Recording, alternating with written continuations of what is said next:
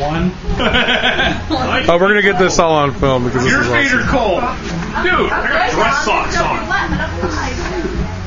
Oh, you ready for video of this? Oh yeah. Uh-huh. Is our coach sweet? Yeah, I was running back and forth on that. That is gross. I'm sorry. awesome. Yeah. Yes, kids. Here's a lesson. Don't wear gloves that are made out of the same type of crap that wetsuits are made of. Because they're called wetsuits for a reason. Why? Hold on. Getting wet. This is insane. Why Kids, do you wear a wetsuit? I believe it's time for a science lesson. Why do you wear a sweat? Why do you wear Ready? wetsuit? Let's ask Rach a question. Why do you wear a wetsuit? Rachel. Why do wetsuits, why are they called wetsuits, Rachel? Because they keep you dry. Am I wrong? What would a dry suit do? No, like your skin.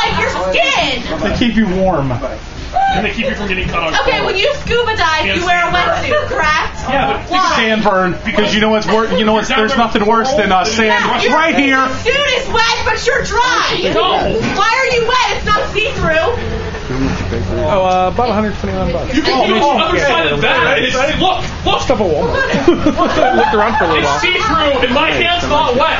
How does this work? What does see-through have to do with wet? My windshield see-through. I'm actually the Human Torch. yes. Call you Johnny Flame. You're flaming. coming off my head. No. Breathe a little harder. No.